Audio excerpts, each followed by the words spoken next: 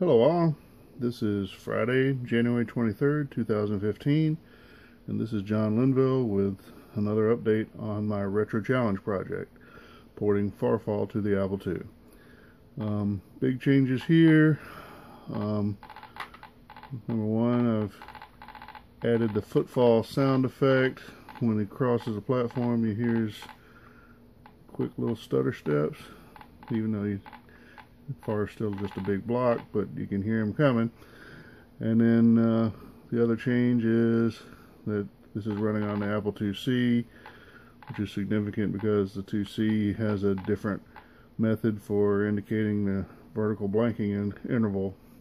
Um, for what it's worth, there's code there for, of course, the IIe and the IIgs as well.